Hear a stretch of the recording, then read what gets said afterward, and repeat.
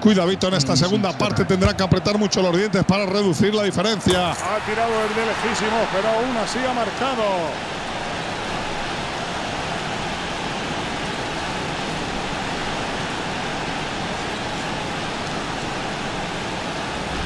¿Quién decía que estaba demasiado lejos? Ha sido un señor gol. Vaya pedazo de gol. Le dejaron demasiado espacio fuera del área, especialmente para alguien de su calibre. Le pegó con mucha intención. Un fallo imperdonable de la defensa. Al rival no le puedes dejar espacio y tiempo para chutar, aunque esté tan lejos de la portería.